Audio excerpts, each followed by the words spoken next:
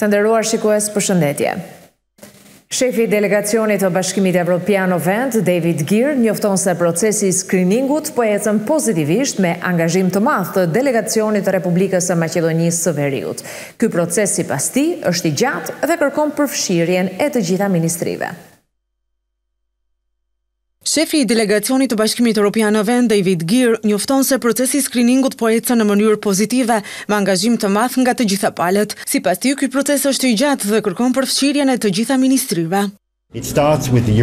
Deri më tani gjithçka po shkon në mënyrë pozitive. Shohim një angazhim të madh nga partnerët tanë nga Maqedonia e Veriut. Është një proces i gjatë, kërkon shumë punë dhe angazhim, po kërkon edhe angazhimin e të gjithë ministrive në Republikën e Maqedonisë së Veriut.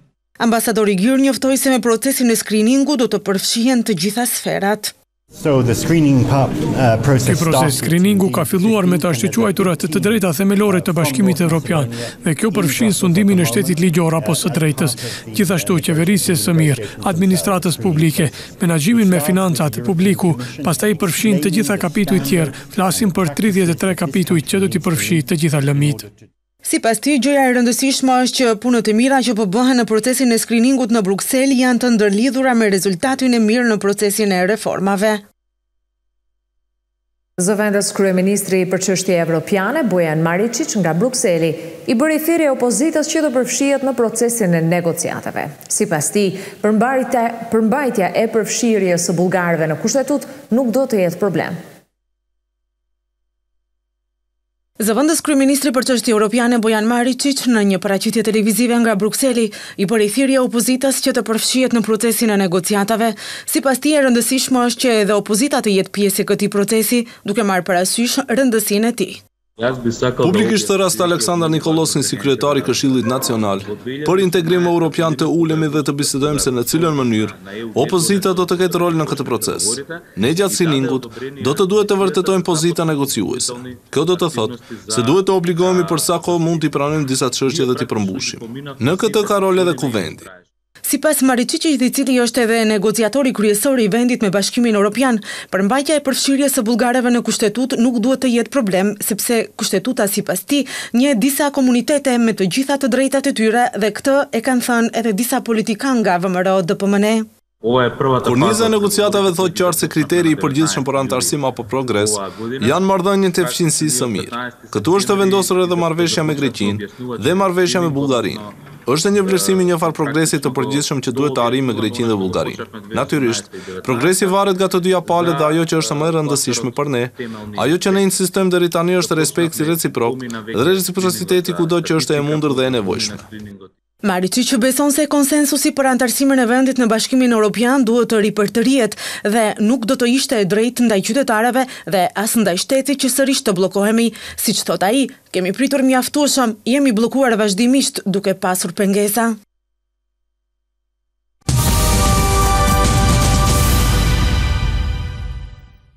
Ish-ministri i Brendshëm nga radhët e VMRO-DPMNE-së, Oliver Andonov, paralajmëroi iniciativë për heqjen e Hristijan Mickovskit nga pozita e liderit dhe revitalizimin demokratik të partisë, ndërsa Mickovski nuk komentoi iniciativën e ish-bashkëpartiakut të tij. Një fraksion i përbërë nga një grup anëtarësh i VMRO-DPMNE-së të udhëhequr nga ish-ministri i Brendshëm Oliver Andonov paralajmëruan iniciativë për heqjen e Hristijan Mickoskit nga pozita e liderit dhe revitalizim demokratik të partisë.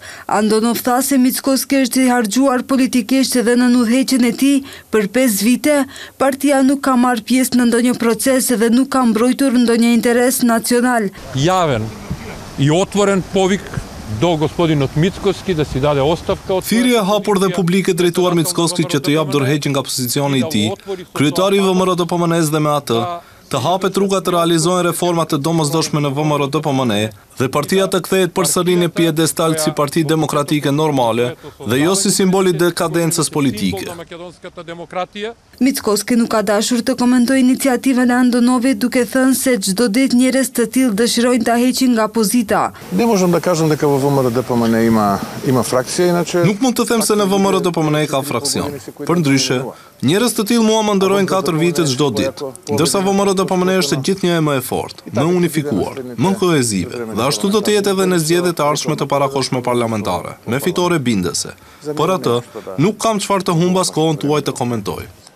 Kjo nuk është hera e parë që grupe brenda VMRO-DPMNE-së shprehin pakënaqësi ndaj Mickoskit dhe kërkojnë dorëheqjen e tij nga pozita e liderit, Një kërkesë të këtillë ka pasur edhe para dy viteve nga një grup i përbërë nga figura të shquara partiake, mes të cilave edhe Ivica Koneski, Nikolla Todorov, Nikolla Poposki dhe Sasho Mialkov.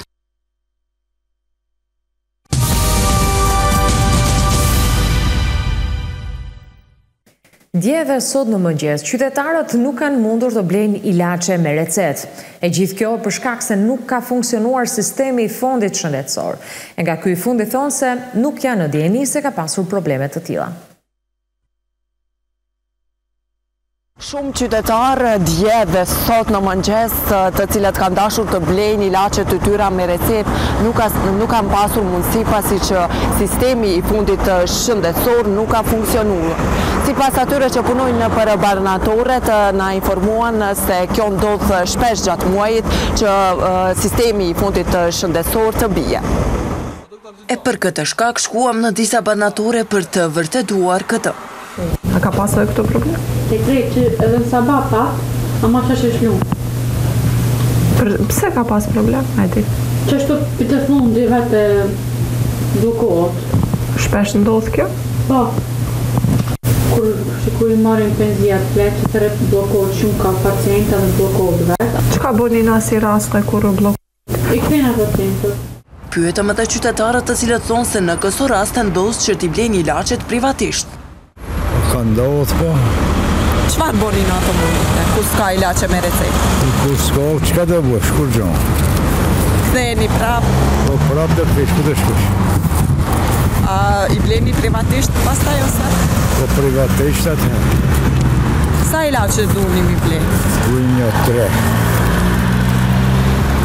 Tre receta m'i ka shkruar. Nga Fondi Shëndetësor thonë se nuk janë në dijeni se ka pasur ndalesë në ndonjë barnatore për dhënien e barnave. Barnatoret punojnë me softuerët e tyre të lidhura me sistemin Termini im, gjegjësisht, me programet e tyre kompjuterike që nuk janë të lidhura drejtpërdrejt me sistemin e Fondit. Nuk jemi në dijeni që ka pasur ndalesë në ndonjë barnatore për dhënien e barnave me recetë në kurriz të Fondit. Në disa nga barnatoret të cilat pyetëm thonë se sistemi nuk funksionon në periudhën kur ka shumë pacientë të cilët të blejnë ilaçe me recetë.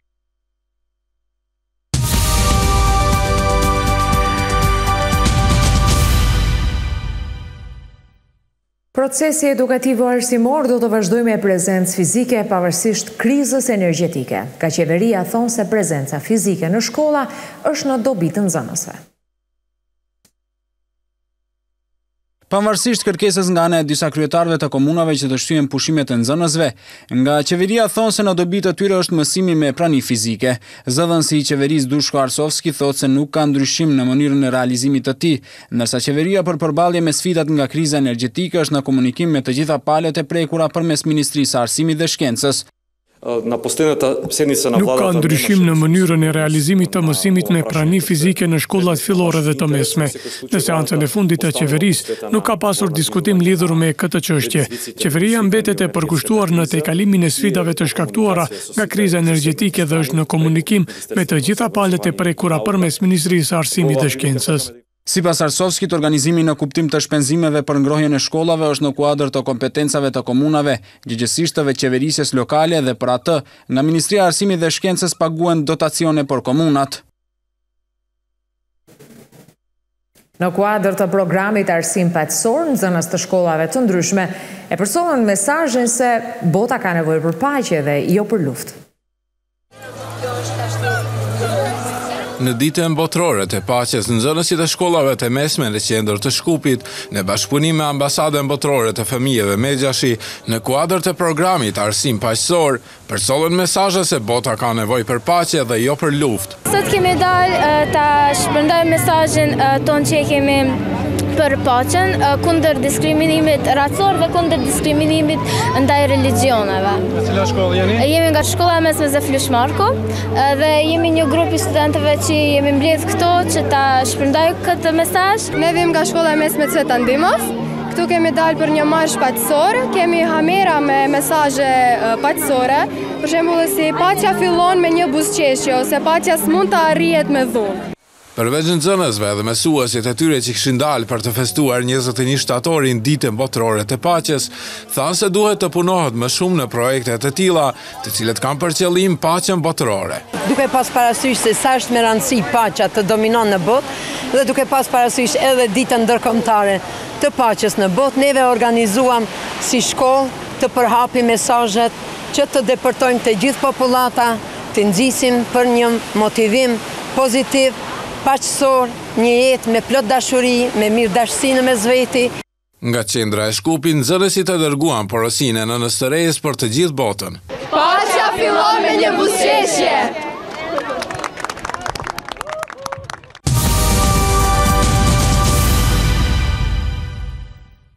Kryeministri i Kosovës, Albin Kurti, për herë të parë ka folur për publikimin e informatave se ishte përgatitur atentat ndaj tij. Ai thotë se ndihet i sigurt, por se nuk e di se sa i sigurt është.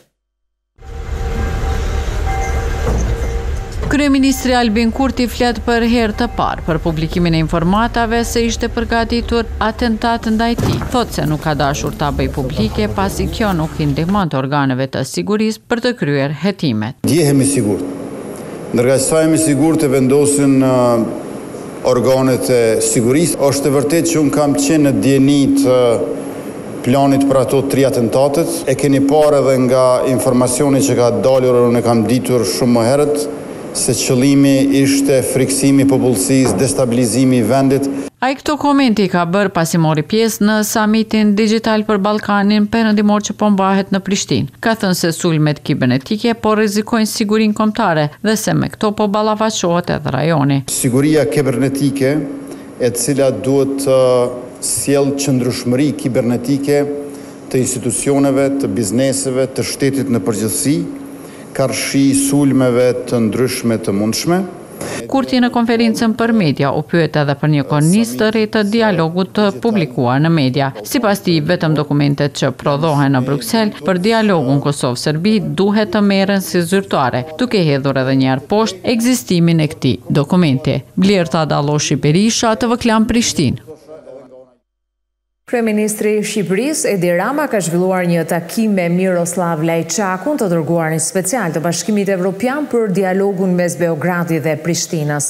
Në këtë takim është diskutuar edhe për çështjet që i tangojnë vendet e Ballkanit Perëndimor.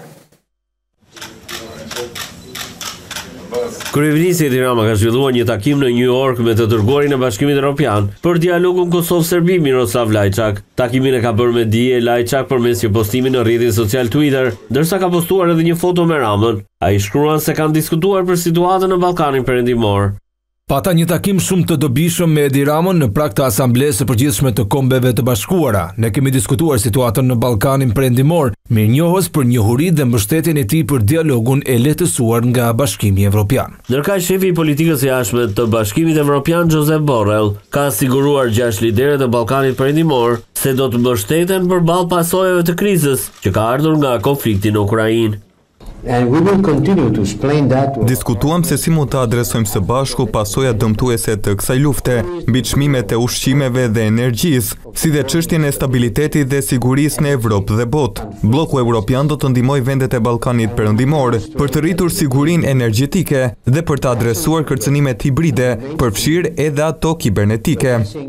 Pikërisht lufta në Ukrainë është përmendur disa herë si arsye shtesë që rajoni i Ballkanit Perëndimor të zgjidhë sa më shpejt çështjet e hapura për të parandaluar tensionet dhe për t'u integruar më shpejt drejt familjes evropiane. E përfundojmë këtu edicionin qendror të lajmeve. Ju rikujtoj se edicioni jonë i fundit informativ do të jetë në orën 22. Deri atëherë, mirupafshim.